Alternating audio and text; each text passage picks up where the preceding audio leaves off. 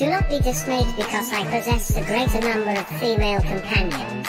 Perhaps if you spent less time dilly-dallying with your tallywhacker, you might actually achieve what you so miserably fail to reach, you wretched fiend. Why, you insolent scoundrel? Ah. Alas. Oh yeah.